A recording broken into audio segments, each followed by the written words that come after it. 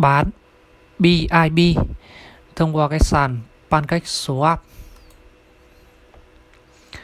Kết nối ví MetaMask.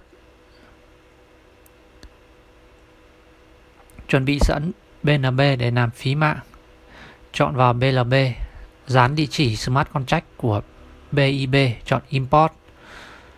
Tích vào understand, chọn import.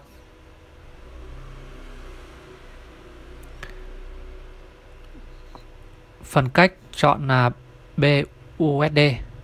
Ở đây tôi sẽ bán BIB sang BUSD. Nhập số lượng cần bán. Chọn Enable.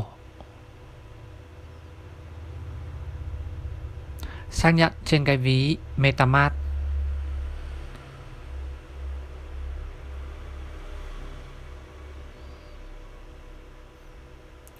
Chọn Confirm.